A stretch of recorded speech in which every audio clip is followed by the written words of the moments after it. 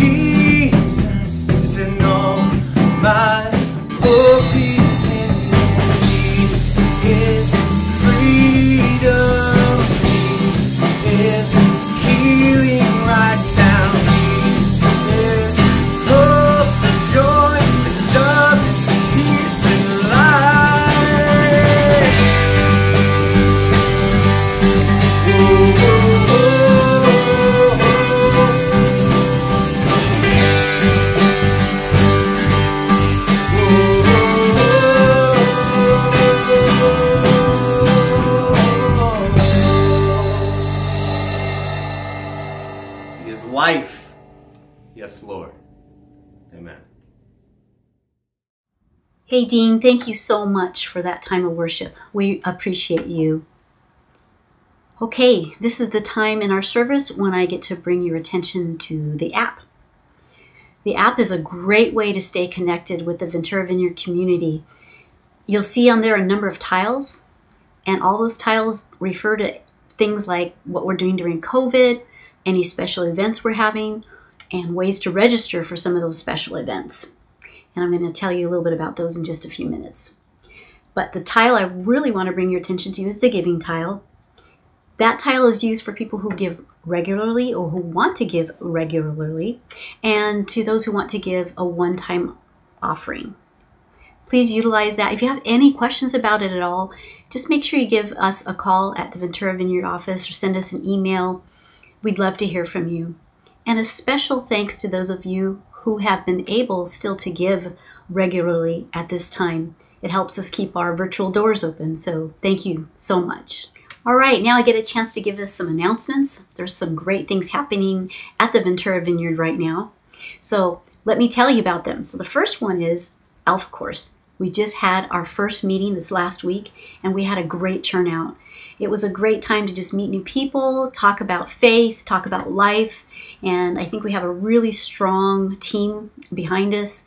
And just wanted to let you know it's not too late to sign up for that. But make sure you do it soon because we're in these beginning phases of getting to know one another, and it's really important to be a part of that in these first few weeks.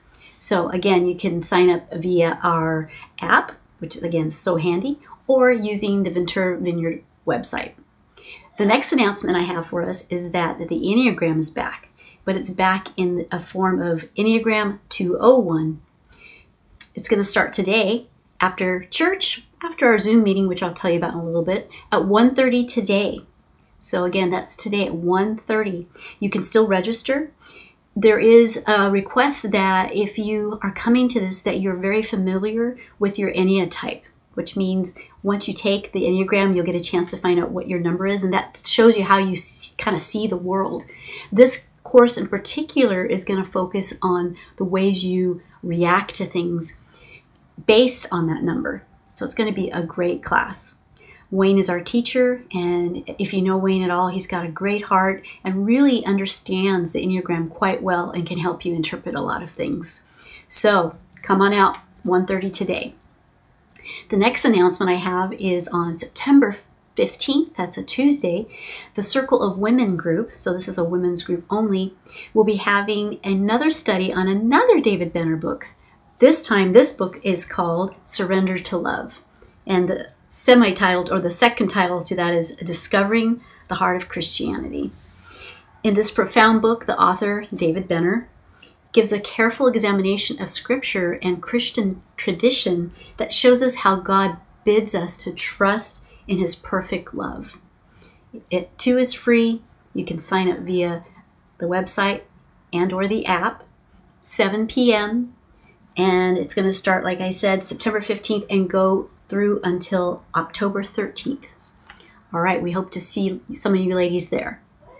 The next announcement I have is that um, after church today, we'll have another Zoom gathering. So what that is is after church ends, we come together as many as can come, want to come, can come, and we actually process the message. So it's a great time to be with everybody else and kind of ask the questions about the message, about maybe something that was really stirred in your heart. We also have the opportunity, if you needed prayer, we have breakout rooms so we can put you together with someone from our prayer team. So if you would like to be uh, someone who receives prayer, do come at the beginning. We'll just kind of say hello to everybody and then we'll decide what people's needs are and people's wants and we'll go from there. But I really encourage you to come. I know it's sometimes it can be a little overwhelming with all this technology that we have to use, but let me tell you how to get to that meeting. So, you know how you're watching the, the video right now. You see me right here. Well, right below me are a bunch of descriptions. There is a Zoom link right underneath my head. So find that. It's going to be in blue. Click on it and you'll get right to the meeting. That meeting will go until 12 noon, and usually the speaker of the day will be there as well, so you'll get to ask that person specific questions. So please do come. We hope to see you there. All right, before I turn it over to Bryan White, I'm going to go ahead and pray for our offering. So, Father, thank you for this wonderful day, a new day. God, we lift up the offering to you. Please give us wisdom as a community to know how to best spend those offerings in a way that would reach many people for your kingdom. And Father, I just want to pray for Bryan White's message. Please keep our hearts open and soft. Open our minds to hear what you would have to say to us today. We love you, Jesus. In Jesus' name, amen. All right, this is the time in our service where we get to hear a message, and today that is from Bryan White. So, ladies and gentlemen, friends and family, I now would like to introduce to you Bryan White.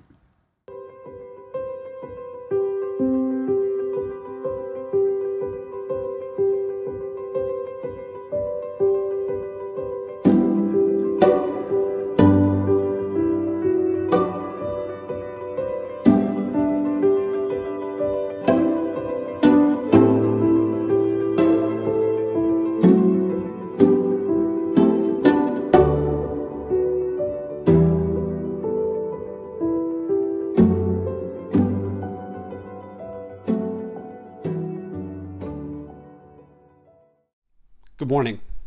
My name is Bryan, and uh, I'm a member of the uh, teaching team here at the Ventura Vineyard. And today I've entitled what I'm going to share with you uh, Labor of Love. It's a nod to today, uh, Labor Day, uh, this Labor Day weekend. Happy Labor Day to all of you laborers out there. Um, and of course, it has another meaning, which goes to the heart of my teaching. Um, the term labor of love is used to describe a person's reason for doing work, right? That may not have a self serving or monetary benefit. We always say we trade our time for money. Um, the work I'm speaking of, the, the labor, the, the energy, um, it's used or expended. Uh, the effort is on behalf of others. Uh, and what you get in return? A sense of purpose uh, goodness, satisfaction, or well being. That's the bottom line the well being of others. Uh, I have two main bits of scripture assigned from the Revised Common Lectionary to share. Uh, two main points, along with some small quotes from the Bible. The two main passages uh, will magically appear over my shoulder while I read them. All of the biblical references used today will be available in the notes uh, under the date for today on the Ventura Vineyard app and can be used for your further edification, reference, uh, communication to us here at the Vineyard. I'd like to start by reading uh, the main text for today um, from the Revised Common Lectionary. Uh, it's Romans 13, 8 through 10. Let no debt remain outstanding except the continuing debt to love one another for whoever loves others has fulfilled the law. And now, before I continue with the text, let me stop there just for a second and just unpack, especially one word, and that's that word fulfilled. Um, fulfilled uh, in the Greek is uh, a word pleroma. Uh, it's from the Strong's. Uh, you can look it up in the Strong's. It's not from the Strong's. you can look it up in the Strong's Concordance uh, under number 4138. Uh, Google it. That'll come up as well. Uh, it has a lot of definitions. Uh, probably the one I like the best is superabundance. It, it, it, it, it encompasses all, all encompassing. It also has a nautical theme, which, if you look over my shoulder, uh, fits with the decor. Um, it, it connotates in the maritime world a, a full ship, uh, a heavy ship, uh, full cargo and crew. And if you look at the sailing vessel behind me, that is a full ship. And the reason why I can tell it is because the gunwale, uh, the leading edge, the top edge of the vessel is deep in the water. There's not a lot of hull showing. If you look at a tanker, let's say, if a tanker has already offloaded all of its fuel or oil or whatever liquid it's carrying, usually that hull is way out of the water. Well, in the case of the boat behind me, and as I continue to teach today, and your mind wanders, you can think about that word uh, fulfillment and pleroma, the Greek. Continuing with verse 9 the commandments. You shall not commit adultery, you shall not murder, you shall not steal, you shall not covet, um, and whatever other command there may be are summed up in this one command love your neighbor as yourself. Love does no harm to a neighbor. Therefore, love is the fulfillment of the law. Now, this may sound familiar to those of you that have been around, uh, especially any of you that have studied the Bible you know, from beginning to end, starting with the, the Hebrew texts. Uh, Deuteronomy 6 5 says, Love the Lord your God with all your heart and with all your soul and all your strength. Love God. Uh, Leviticus 19:18 says, "Do not seek revenge or bear a grudge against anyone among your people, but love your neighbor as yourself." I am the Lord. These are the pillars, if you will, of, of the Jewish Shema. The only debt we owe is to love one another. We'll get back to that in a bit. Uh, on your screen, there should be a pair of Camino boots, uh, pilgrimage boots. These belong to my wife and I. Uh, today is Sunday, September 6th.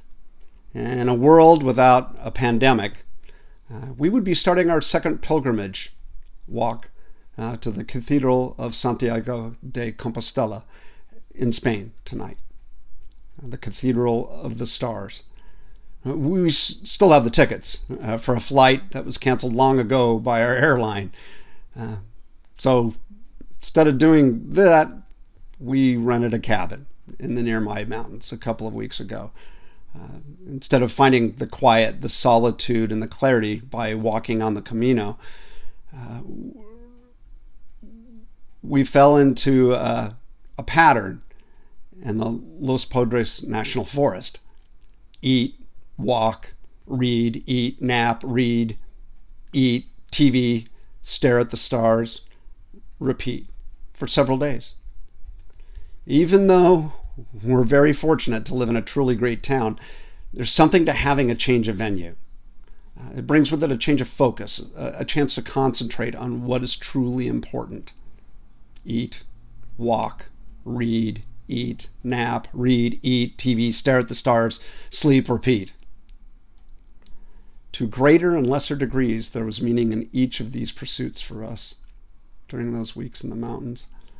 Uh, for me personally, the most meaningful was my time spent with the stars. Ever since I was a child, I've loved staring at the night sky. You can ask my kids about it if you get the chance. Uh, I woke them up several times in their youth to look at the stars. I tried the same thing with my wife on this cabin trip. Uh, the Delta Aquarid meteor shower took place while we were up in the uh, Los Padres. It, happened at its well, it happened for several days, you know, weeks really. Uh, but while we were up there, the height of the shower occurred, and it happened at 3:30 a.m. she opted out of that one. I didn't. I, I waited in silence, staring up the stars filled in the dark, moonless sky. I was rewarded with multiple meteors. I actually saw three simultaneously.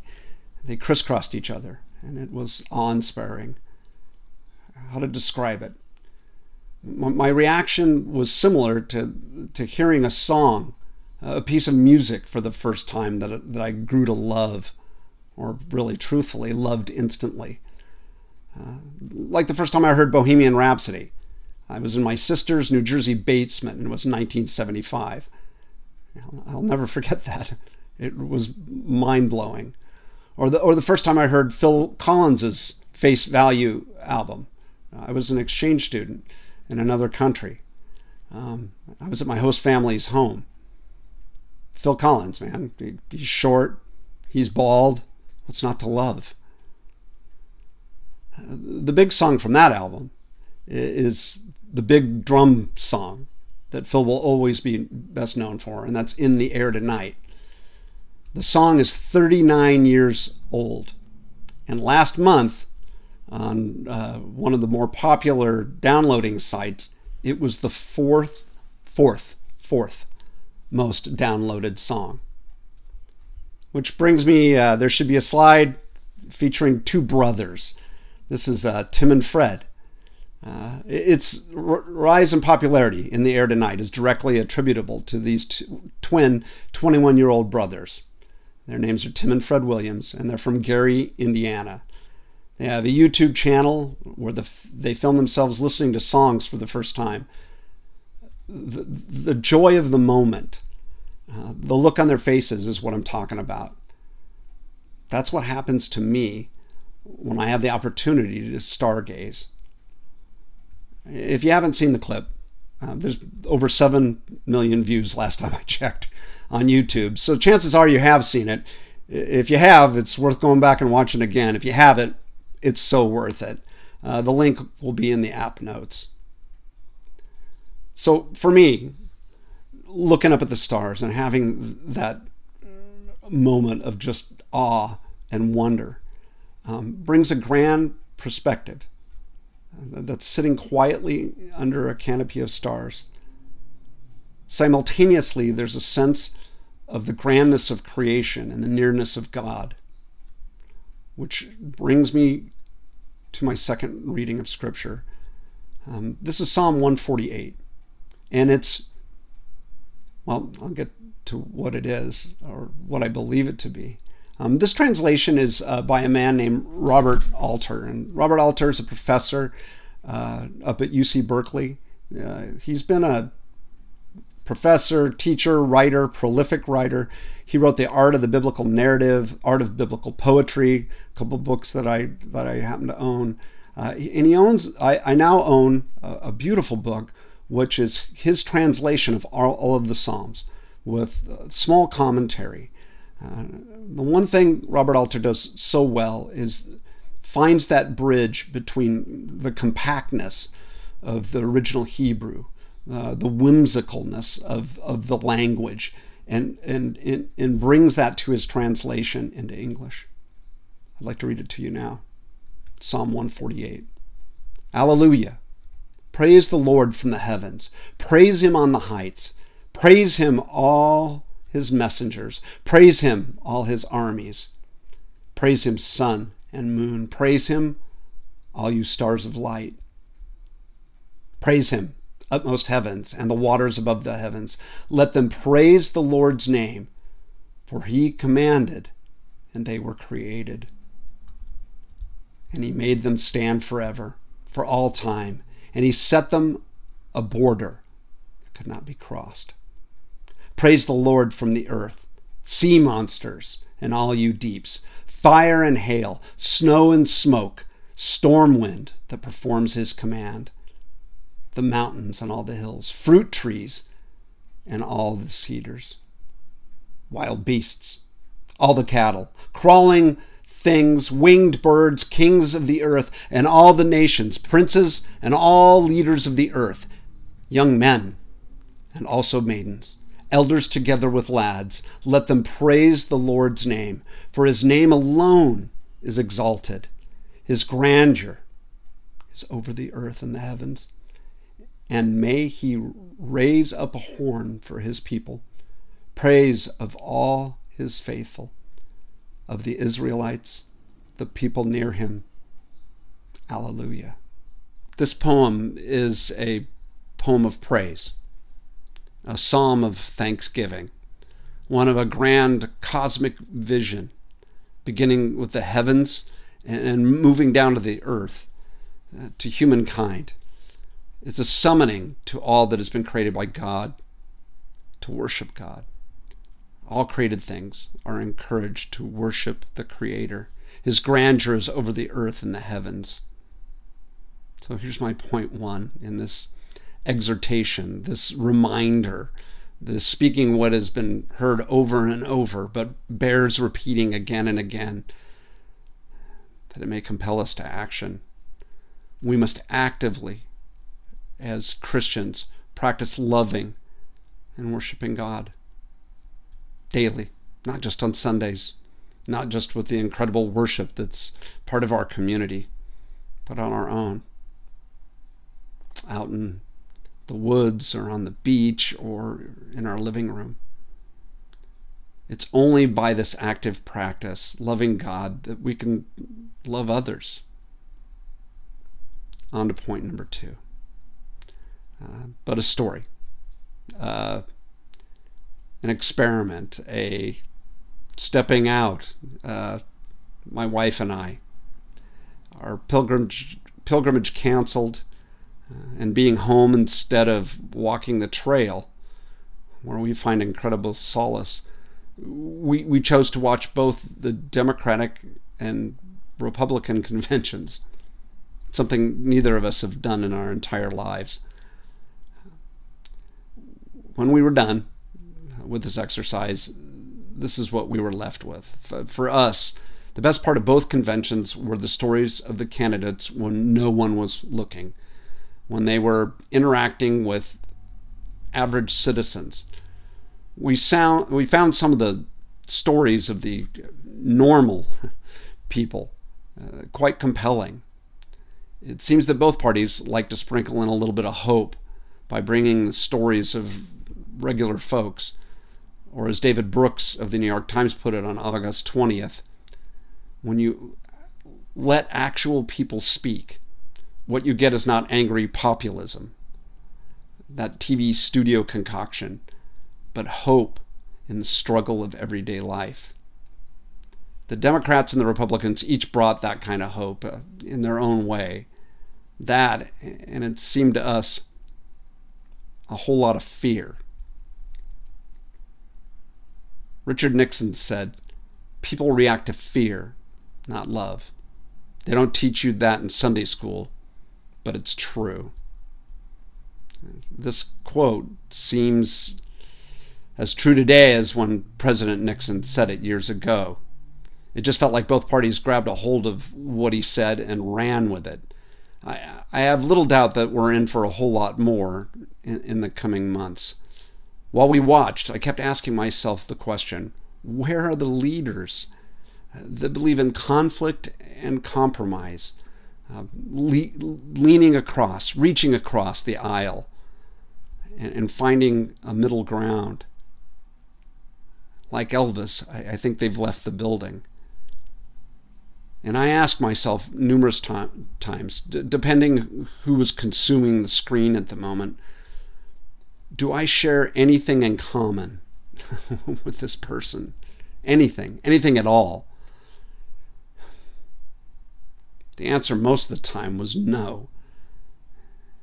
I remember thinking, uh, is this person my neighbor? No. But God said yes. Point number two we must actively love our neighbor. In the Gospel of Mark, uh, chapter 12, 28 and 29, Jesus answers a question that's asked of him One of the teachers of the law came and heard them debating. Noticing that Jesus had given them a good answer, he asked him, Of all the commandments, which is the most important? The most important one, answered Jesus, is this Hear, O Israel, the Lord our God, the Lord is one. Love the God, your God with all your heart, with all your soul, and all your mind, and with all your strength. The second is this love your neighbor as yourself. There is no commandment greater than these. To drive the point home, scripturally speaking, I'm going to run through a series of scriptures that are listed in the notes quickly. John 13, 34 through 35. A new commandment I give you love one another as I have loved you so you must love one another. By this, everyone will know that you are my disciples, if you love one another. John 15, 12. My command is this love each other as I have loved you. 1 John 3:14. We know that we have passed from death to life because we love each other. Anyone who does not love remains in death. 1 John 4:20 Whoever claims to love God yet hates his brother or sister is a liar. For whoever does not love their brother and sister whom they have seen cannot love God whom they have not seen. James 2:26 As the body without spirit is dead, so is faith without deeds is dead. Luke 6:35 Love your enemies, do good to them, and lend to them without expecting to get anything back. Then your reward will be great, and you will be the children of the Most High, because He is kind to the ungrateful and the wicked. Love your neighbor as yourself. What does that mean to you? Uh, it's a good question. Uh, maybe a question for the Zoom gathering after the service. What does that mean? I asked one of my adult children this question. Uh, they thought about it and they said this. I think it's a starting point. They said that loving your neighbor as yourself, to paraphrase or to reorder it in, in their language, help out and don't be an ass. if we could just start there and move up. But there's a point to that there's a lot of that going on right now. People are so entrenched in whatever it is that they hold dear that they won't give an inch. Not an inch. Won't find that middle ground. Don't even think when they say or write something. What you do and what you say are important. Um, the last bit of scripture uh, I'm going to share is uh, out of Matthew. And I, am just going to point you to it. I hope that you'll read it. You probably have read it multiple times, but I'd like you to go back. And that's Matthew 25, 31 through 46. And it's the sheep and the goats, uh, where Jesus points out the differences between the two. And it, boils down to this. He says, When I was a stranger, you invited me in. When I needed clothes, you clothed me. When I was sick, you looked after me. When I was in prison, you visited me. And I can still hear Keith Green, the 1970s rock Christian prophet, pounding on his piano.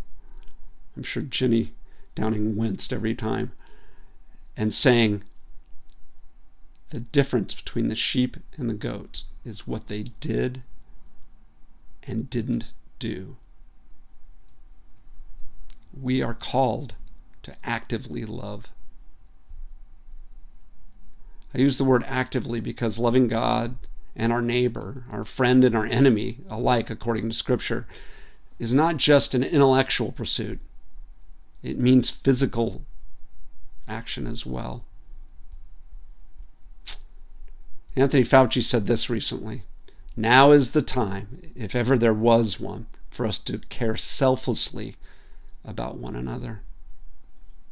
To love God and our neighbors. This call goes back thousands of years. These are easily spoken about truths, that are not so easily lived, especially in these United States, a country founded on rebellion and individualism. Today, we're called to love in the face of evil, hatred, polarization, given to us by God, spoken to us by Jesus, affirmed by the writings of the apostles. The bill that we have, the only thing that we truly owe, is to love. A few questions to close. These are straightforward foundational truths of faith, and yet, are we as a people characterized by these scriptures? We, the people of the Ventura Vineyard, the Christian church writ large, things that I know. I know that I've been a Christian for a long time, and I know that personally I've not always lived up to these standards. I know that to love God and to love my neighbor means that my daily focus must not be my favorite focus, me. I know I need to tell God I love Him daily. I know I need to ask God daily for help to love my neighbor and give me the eyes to see what is needed and then do something about it. I know that I wish to live with only my debt to love others as outstanding. I know that we've been talking about the third way, but love seems the only way. I leave you with this quote from the Reverend Martin Luther King. I've decided to stick with love. Hate is too great a burden to bear. Thank you.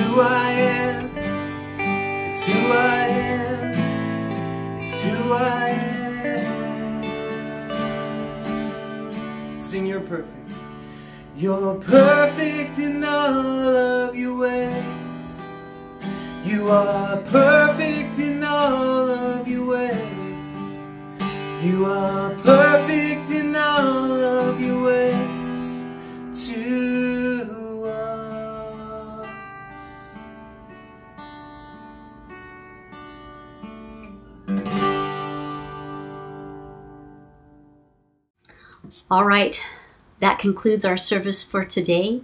Thank you for everyone who made this possible, to the tech team, to the teaching team, and our worship team members. Thank you so much. Because of you, we have a full service. Thank you so much. And thank you for coming. We're so glad you were able to join us to be part of our community. Hey, speaking of community, I wanted to remind you that after this, we are going to meet for a Zoom gathering. Please join us. We want to see you there and we want to be able to get to know you better or even just see old faces, old friends. Not that anyone's old, that's not what I'm saying. Longtime friends is what I meant to say. All right, we hope to join you there. Hey, I'm just going to go close this in a word of prayer now. Father, thank you for this day, another day that you have made. Father, we look to you to guide us. Guide us, Holy Spirit. We need your wisdom to live this life, to live this life in you, to live this life well, to live a life that glorifies your Son, Jesus. Father, I just bless all those out there today that are watching. May a special sense of your grace be over them today. We love you, God, and we need you so. In Jesus' name, amen. Hope to see you at the Zoom meeting. Bye, everybody. Have a great week.